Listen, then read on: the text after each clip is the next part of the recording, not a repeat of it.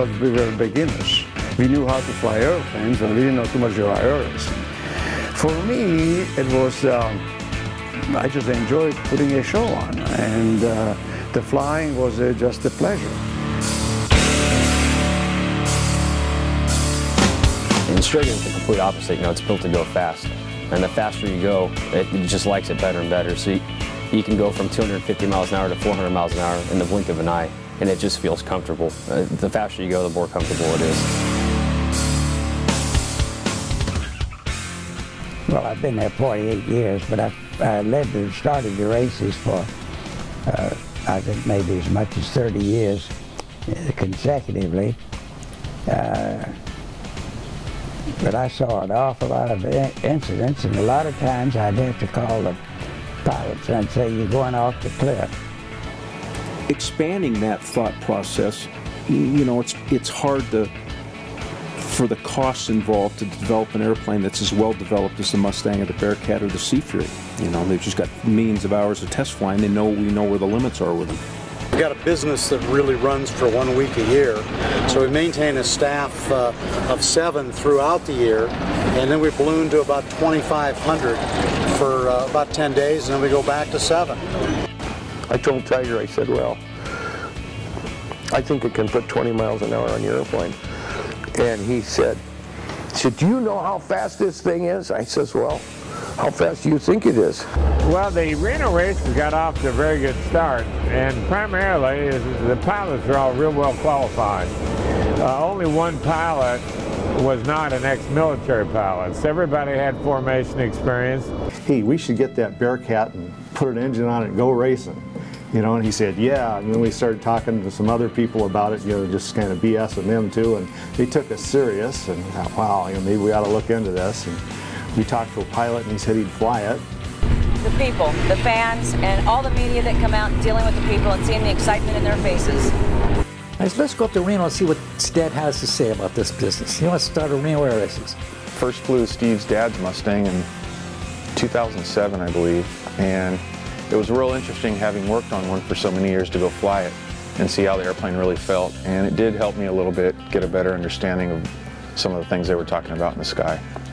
Well, Tiger DeStefani uh, bought a, uh, a, a P-51 and he didn't uh, know how to fly airplanes yet, so I, I, picked it up for him, brought it to Bakersfield, and I owned an AT-6 at the time, so stuck him in the AT-6, gave him some dual. Tiger's a fast learner, and it wasn't long before he was flying uh, the Mustang also. Yeah, next morning, I'm standing by the airplane out on the ramp. I'd never been to Reno before, and Phil Barber comes out there from the Reno paper. And he comes over to me and, and uh, looks at me, so you're going to fly in Genie. We're sitting beside Genie, and Zusha was working on the, on the motor at the time. He says, you're going to fly Genie? And I said, yeah. He said, so uh, you ever raced in Reno before? I said, no, huh? He says, uh, how much time do you have on that airplane? I said, I flew it up here. And he said, so you like a half an hour? And I said, yeah, something like that.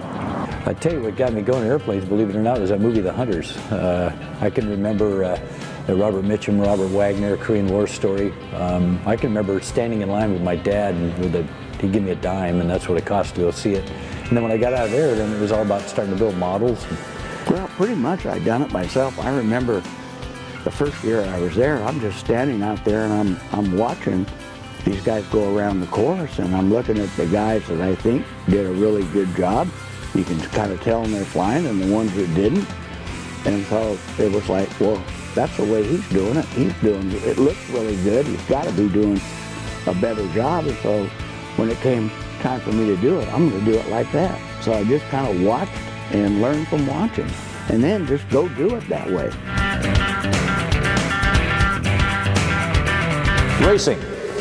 It's in our DNA as humans.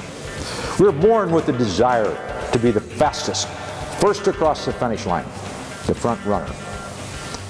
Our ancestors raced. They raced on foot and on horseback, in chariots, and then with automobiles and yachts, and best of all, airplanes. Airplanes like this one.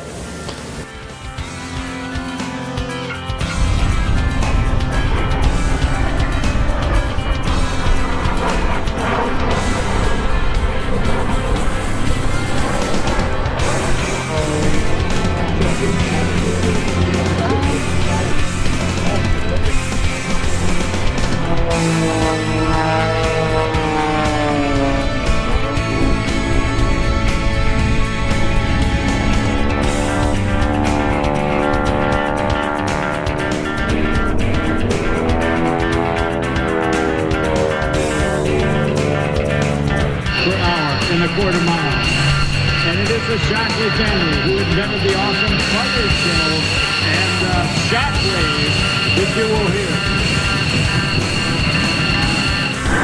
hear.